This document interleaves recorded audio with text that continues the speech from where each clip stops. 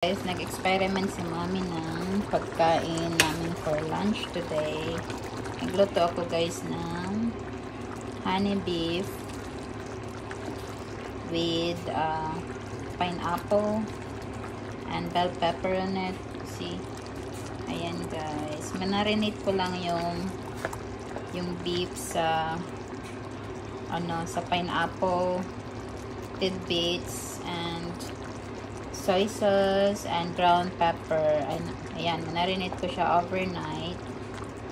Then, and stir fry ko lang yung onion, garlic, and syempre yung meat guys. Ayan, fry ko muna yung meat sa garlic and onion. Then, nilagyan ko siya ng sauce.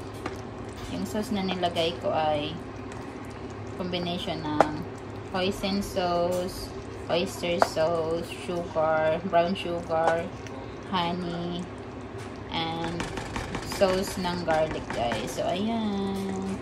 Yummy, yummy. Yummy, yummy guys. Para bago, para bago naman yung lunch namin. Hindi nakaka-boring. Kain na kami guys. Ayan, kakain na po tayo.